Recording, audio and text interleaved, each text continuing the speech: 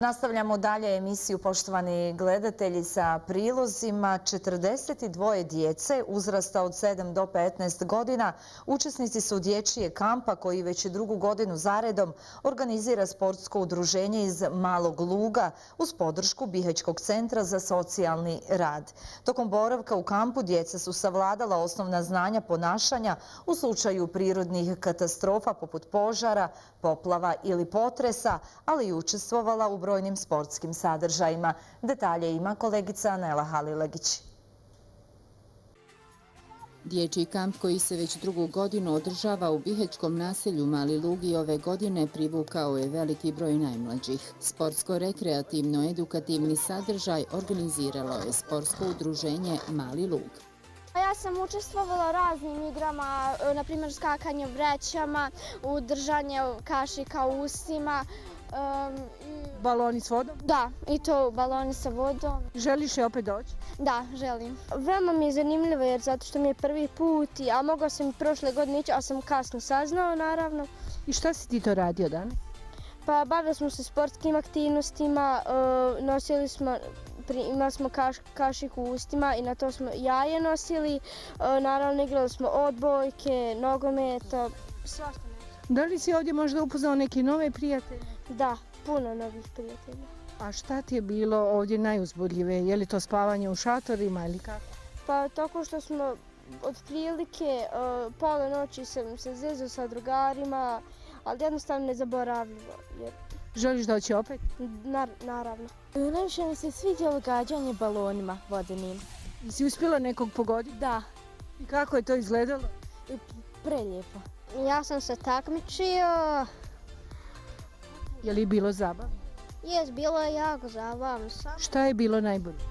Bilo je najbolje kad su skakalo vrećom i ono u jaje, ovako kašku usta i ono goli jaje. Jesi ti to uspio do kraja? Pa, mogao sam do kraja, ali nisam uspio.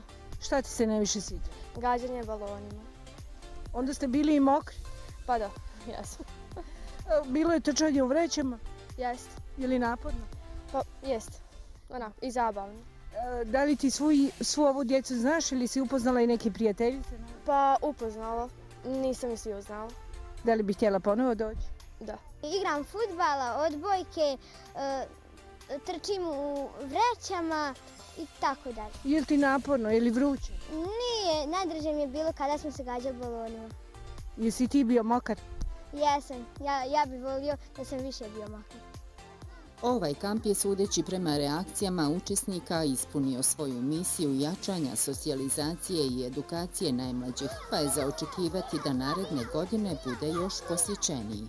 Kamp je baziran na sportskom takmičenju, trčanju vrećama, nošenja jaja u kašici, povlačenja užete, tako kao na neki izvijački način.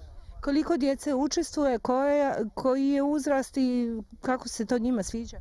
Oni su oduševljeni, učestvuje 42 e, djece, uzrast od 7 do 15 godina. Da li je to prvi put da se u ovoj mjesec zajednici tako nešto organizira? Ovo je drugi put, prošle godine smo isto u ovo vrijeme organizovali. Centar za socijalni rad u Vihaću od 2019. godine implementira UNICEF-ov projekat o jačanju kapaciteta centra u slučaju prirodnih nesreća. Jedan dio projekta se odnosi na edukaciju najmlađih članova lokalne zajednice o ponašanju u takvim situacijama. Iz tih razloga bila je ovo idealna prilika za edukaciju.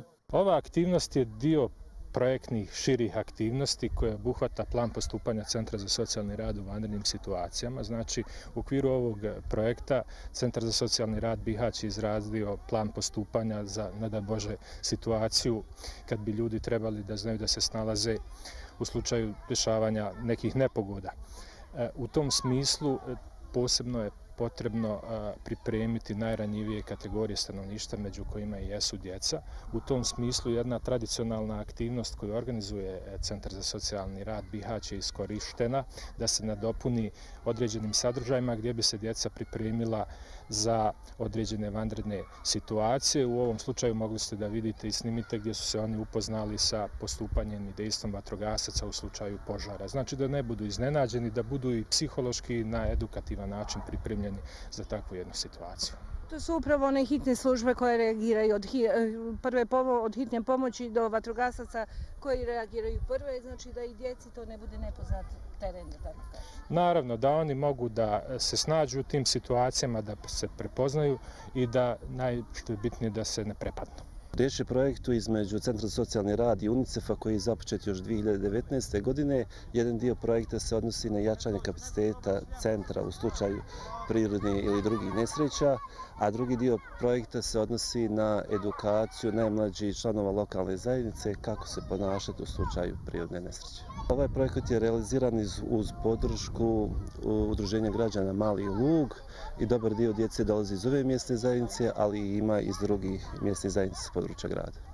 Odaziv je odličan, djeca su sretna, ove, pored druženja tu su i edukacijske aktivnosti koje će pored e, gašenja požara učestvovati u slučaju pružanja prve pomoći. Učesnici ovogodišnjeg kampa ponijeli su nezaboravne uspomene i nova prijateljstva, što je u stvari bio i primarni cilj. Ujedno, ovo udruženje planira i veliki broj rekreativnih aktivnosti i u narednom periodu.